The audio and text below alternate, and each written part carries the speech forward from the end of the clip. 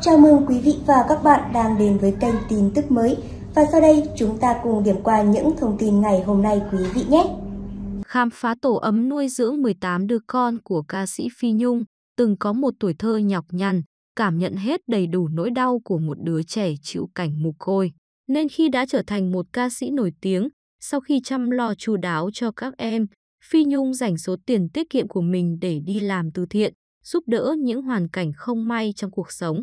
Đến lúc này, Phi Nhung không nhớ mình đã đi qua bao nhiêu vùng quê tặng quà, giúp người nghèo xây nhà, xây viện dưỡng lão. Cách đây hơn 5 năm, trái tim nhân hậu của chị đã rung lên nhịp đập mẫu tử với 18 đứa con mà chị yêu thương và chăm lo không khác gì ruột thịt. Các con của Phi Nhung được nuôi dưỡng tại một ngôi chùa ở Bình Phước. Nơi đây đã được chị tu sửa khang trang bằng tiền túi của mình và bạn bè thân hữu để các con có một nơi học tập và ăn ở. Ngoài việc chăm chỉ đi hát kiếm tiền lo cho các con, Phi Nhung còn cùng sư phụ trong chùa mở một quán cơm chay kiếm thêm thu nhập để chăm lo cuộc sống các cháu tốt hơn. Khi được hỏi, bận rộn đi diễn nhiều nơi thì làm sao có thể chăm sóc tốt cho đàn con trẻ, cô chia sẻ. May mắn là bên cạnh Phi Nhung còn có sư phụ trong chùa và ba vị sư cô thay nhau chăm sóc các con rất là chu đáo. Hàng ngày có việc gì xảy ra, từ chuyện các con mọc răng, học giỏi được điểm 10 hay bị bệnh. Sư cô đều quay video lại và gửi qua điện thoại nên dù Phi Nhung đi diễn xa vẫn biết được tình hình của các con.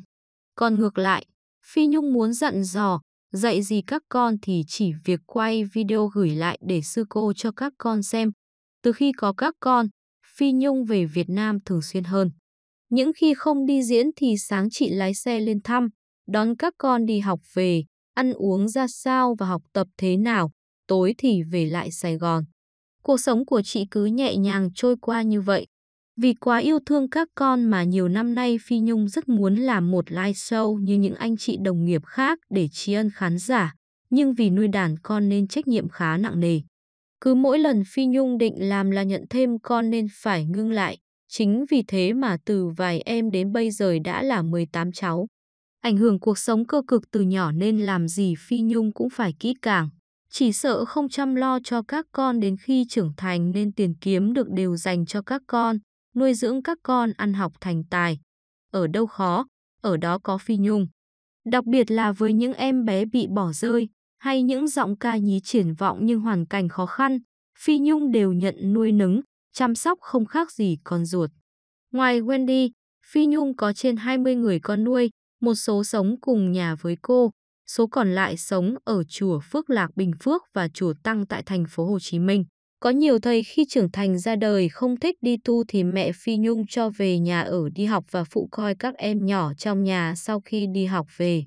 Bé nhỏ nhất vừa được cô nhận nuôi tháng 6 vừa qua, sau khi bị mẹ ruột để lại trước cửa nhà ca sĩ. Đã gần bước sang tuổi 50, Phi Nhung được nhiều mà cũng mất nhiều.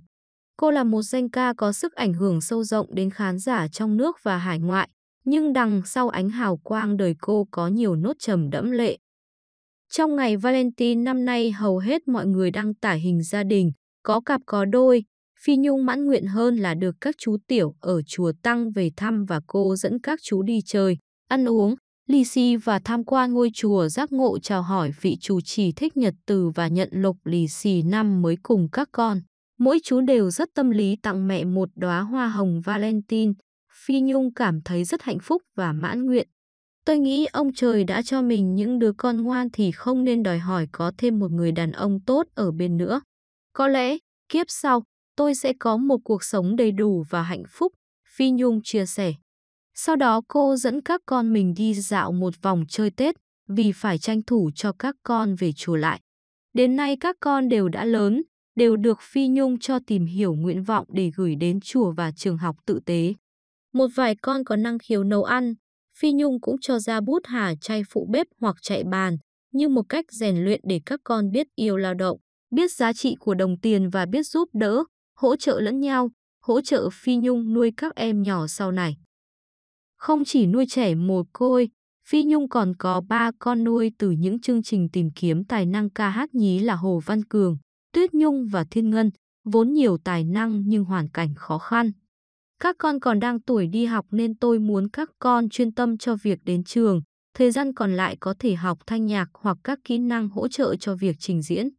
Chỉ khi nào các con được nghỉ hè, lễ Tết hoặc cuối tuần, tôi mới đồng ý cho con đi biểu diễn hoặc quay video clip.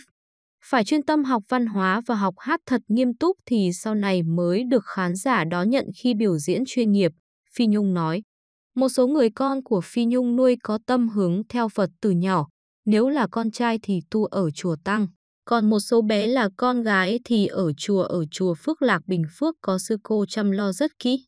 Đối với Phi Nhung, các con dù sống chung hoặc sống ở chùa cô đều yêu thương và công bằng như nhau. Không có duyên với Phật thì ra đời cô vẫn cho đi học bình thường và các anh em ở chung với nhau phụ giúp mẹ ở quán sau giờ học. Wendy theo ngành y, vẫn thường góp tiền giúp mẹ nuôi các em và theo Phi Nhung về Việt Nam, tham gia các chuyến đi thiện nguyện. Còn một lời hứa với mẹ là về Việt Nam thăm khám bệnh cho bà con ở vùng sâu vùng xa. Từ giờ phút này mẹ con mình bắt đầu thực hiện ước mơ này nha con, nữ ca sĩ từng nhắn nhủ với con gái. Thấy ai khó thì mình giúp bằng hết sức của mình và kêu gọi thêm những tấm lòng vàng khác. Rất nhiều người khi thoát nghèo, thoát khổ rồi lại cùng Phi Nhung giúp tiếp những người khác. Vậy là hạnh phúc lắm rồi. Nữ ca sĩ tâm sự.